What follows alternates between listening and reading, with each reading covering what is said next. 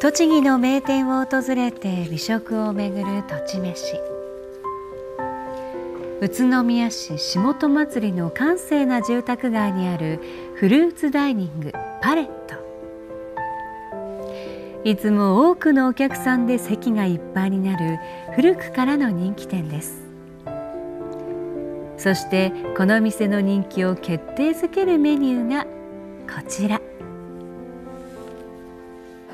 生クリームがあっさりしててフルーツもたくさん入っててすごい美味しかったです。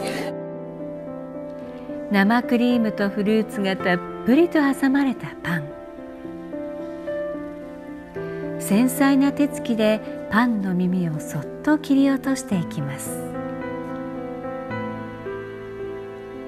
切りかけた断面に覗くのは宝石のように甘く輝く真っ赤なとちおとめです。